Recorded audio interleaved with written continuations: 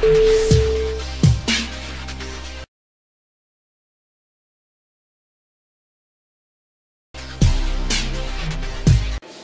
sun spreads its light equal for all. The moon brightens the night equally for all. Nature never discriminates. Nature never hesitates. Nature never points out fingers on anyone.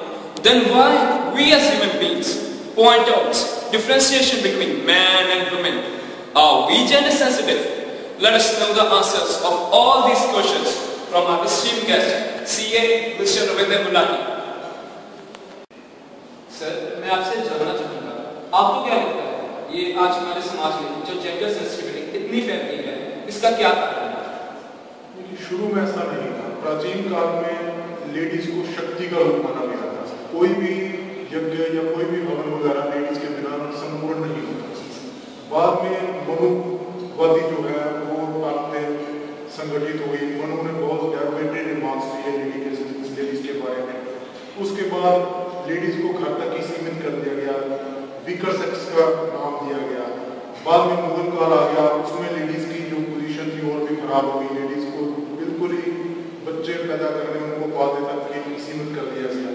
उसी में जो राजपूत काल था, उसमें सती प्रथा बहुत चल रही थी बाद में राजा राममोहन राय ने उसके लिए कानून ज़रूर पास करवा दिया लेकिन लेडीज़ की पोजीशन डिस्क्रिमिनेशन उस दौर से चल रहा है हमारा माइंडसेट वैसा सेट हो गया कि वो डिस्क्रिमिनेशन आज भी चल रहा है, किसी न किसी रूप में चल रहा है, चाहे उस फॉर्म में नहीं है, पर उसका रूप जो है वो बदल गया, चल। जी सर, और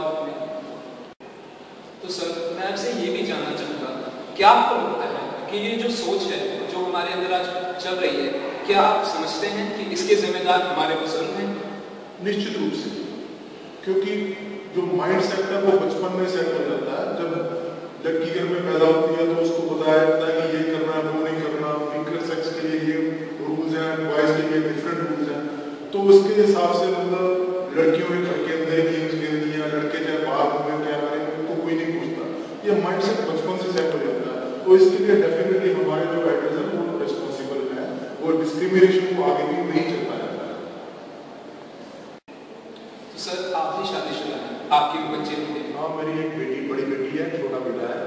ठीक है सर। तो क्या मतलब आप भी उन दोनों को एक जैसा ही ट्रीट करते हैं?